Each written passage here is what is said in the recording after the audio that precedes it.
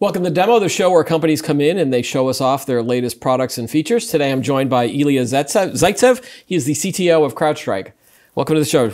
Thanks for having me, Keith. And you're going to show us the, the Falcon for IT product as well as uh, another uh, a product within that, that suite, uh, Charlotte AI, correct? That's correct. All right, so who is this product for? Give me a, a general overview of what the product does and, and, and who it's aimed at. Sure. Well, let's start with Falcon for IT. So, Yeah. Falcon for IT is for both the security and the IT teams. So, one of the big issues that we've seen at, at CrowdStrike, um, our mission ultimately is about helping companies stop the breach. Right. And traditionally, we've been creating tools and technologies and building out a platform that's really empowered the SOC teams, the forensic teams, the incident response teams to understand if they're under attack, figure out what the scope is, what the root cause is, and ultimately prevent or eject you know, an adversary from their environment. But a big piece of that puzzle often as you're doing that investigation is realizing, oh, the reason or the way that an attacker was able to enter the environment is because there's a misconfiguration in the operating system or there's a vulnerability or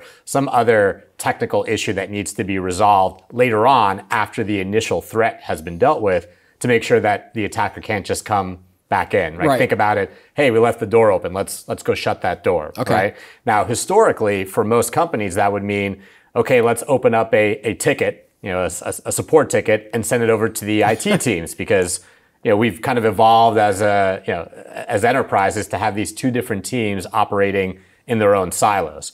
And the reality is, if we're fixing all these problems for security, and you know, the reason we're so successful in security is because we built this amazing platform. It handles you know cloud and endpoint connectivity, and it scales like nothing else. It's easy to deploy. It's resource efficient. Customers have been consolidating their security technologies onto us.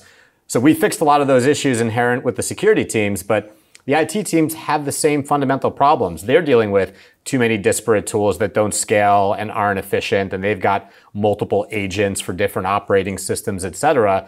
So as we've been fixing the security problem, the security teams have run into this bottleneck where Right. they're just throwing over the ticket to the IT side, and the IT teams are struggling to keep up with it all. So we had this realization, well, and we built this incredible architecture, this platform, and yeah, we you, we built it to solve pretty much some of the hardest problems in in enterprise technology, right? Security. Mm-hmm. You need the most data. You need to have all the visibility. You can't fail. You can't go down. You have to be lightweight and quick to deploy.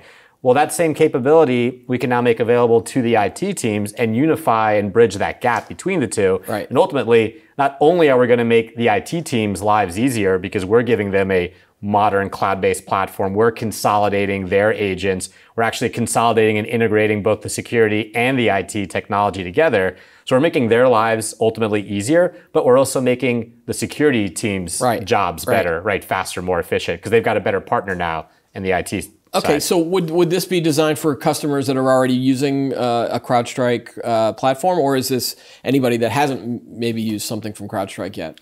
Uh, Or both, frankly. I think you know it's the, the sweet spot's probably going to be for customers that are already using the Falcon platform for Yeah. security because we can basically tell them, hey, it's already deployed, right? We're cloud based. If you want to use Falcon for IT, you just flip we just flip a switch on in the cloud, and now you have that capability there. There's no sensors to deploy. There's no additional agents.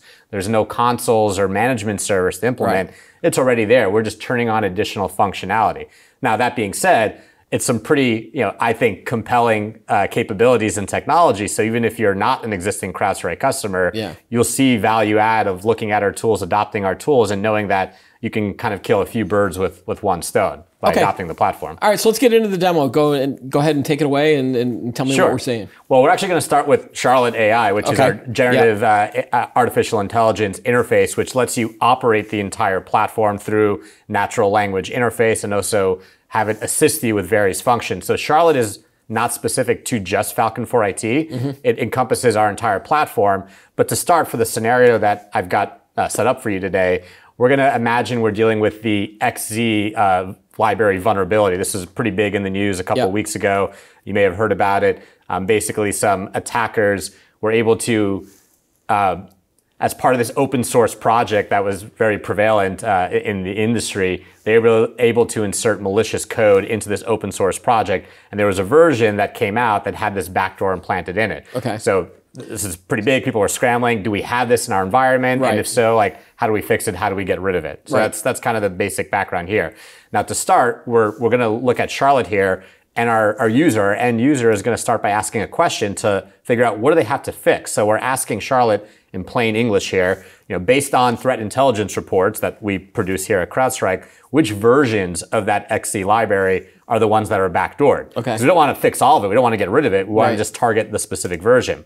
So we're going to go ahead and ask that question, and immediately Charlotte is going to access all the different reports that we've put together, and and we're just asking it to summarize that, right? It's giving us the underlying reports if we want to read it, but at the very bottom here, if you look, it's telling us specifically that hey, the specific version that's been backdoored, it's 5.6, 5.6.1. Okay. So now we know the ones we have to go after, right? So with that information, we can now go over into uh, Falcon for IT and create a query.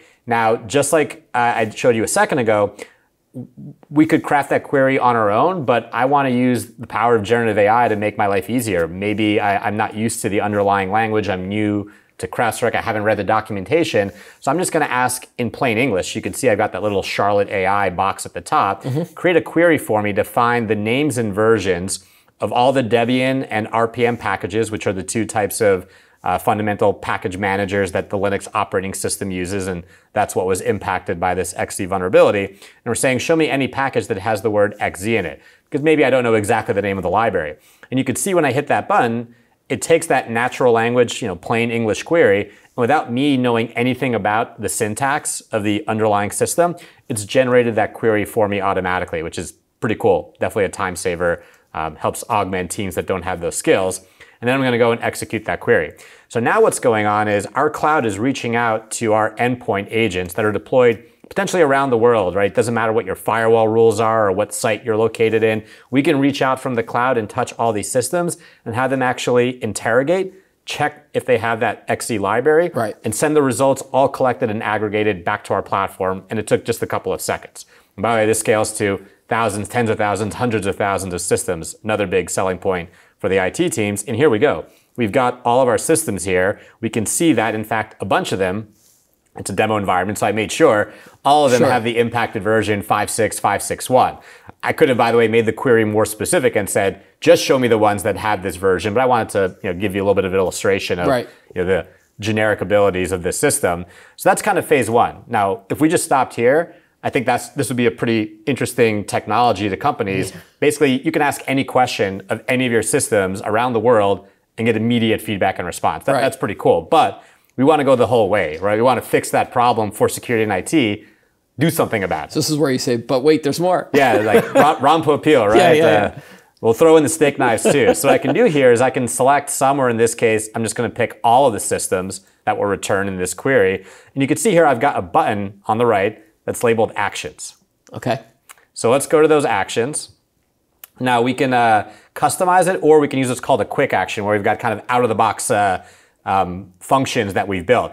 Now, again, I want to stress that customers can pretty much take advantage of the native operating system, whether it's like PowerShell or Bash if you're on Mac or Linux, we support all that. And you can run pretty much any command, push down any program, install anything, run anything. It's super powerful. It's like mm-hmm. the Swiss Army knife of you know IT. But in this case, we've got a specific pre-built function to update software packages. Because remember, we're running this XZUtil library. We know we've got an old version that has this backdoor. Yep. So I'm just going to say, hey, run this quick action on all those machines that were impacted. Update the XZUtils library to a new version that doesn't have the backdoor. And that's it.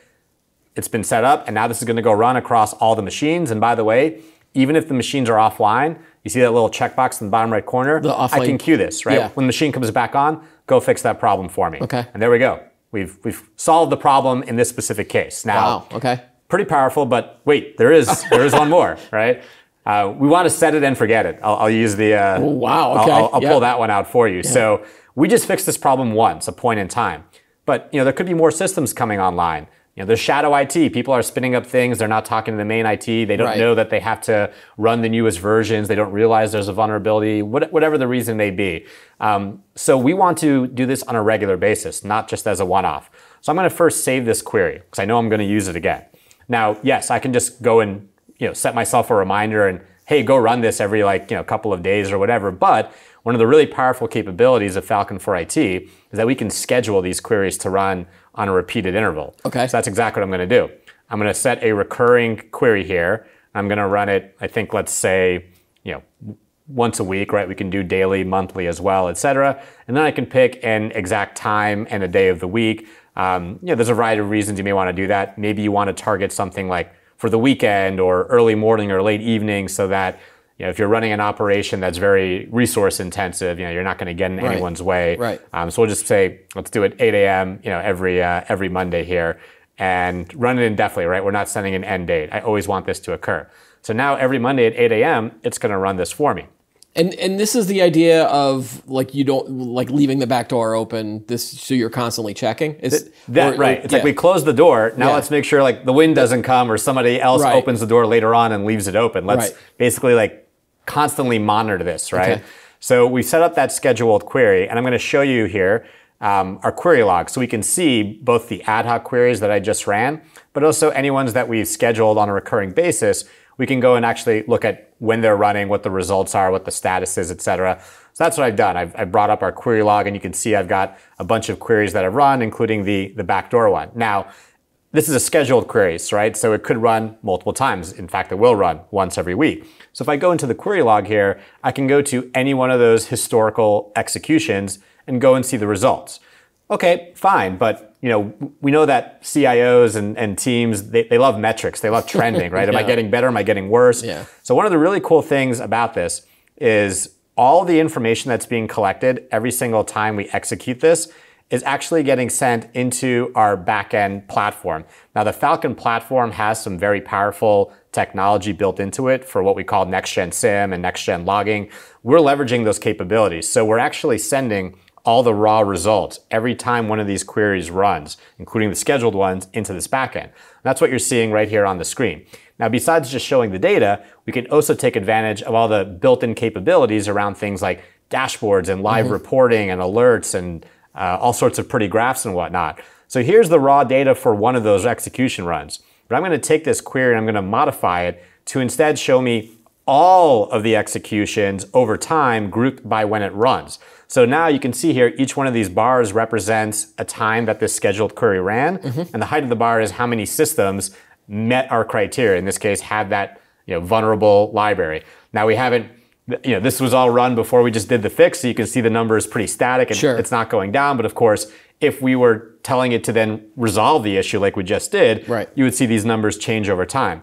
So I can see a visual representation of this, and I can even go a step further and actually turn this into a, a dashboard, a widget, okay. which will update automatically in real time live. So you can imagine having something like this in your you know, operations center right there on a big screen, or just open it up whenever you want to get a quick refresher yeah. and see how the organization is doing, see how the health of it uh, is doing. So what really excites me about this and the direction where we're heading with this product is we take the scheduling capability and now you start, you know, eventually adding on top of that the response bit, right? Taking those actions automatically as well. And now you're in this not too distant future, you know, the, the future of tomorrow is here today. Right. We have this autonomous self-healing enterprise where I can set up ahead of time, this is what I want my environment to look like. These are the controls I want. These are the settings that I want, the software that I want in place and just watch it for me. And if you see something has gone wrong or is deviating from that standard, yeah. sure, you can notify me, but let's go a step further and just fix it for me. Put it back to that known good state and do that always and continuously on my behalf.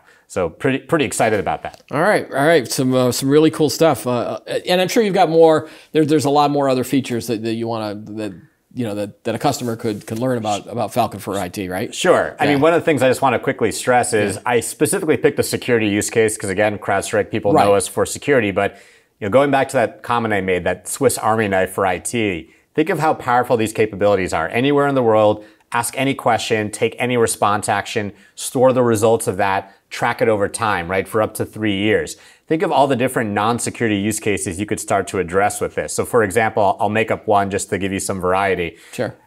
Look at all of my systems, tell me which programs are using the most memory, do that every day, every hour, and then build me a chart of that. So I can look and say, hey, we just rolled out a new, a new upgrade to some application, and boom, all of a sudden it's taking up 15 more percent you know, CPU or memory in our environment.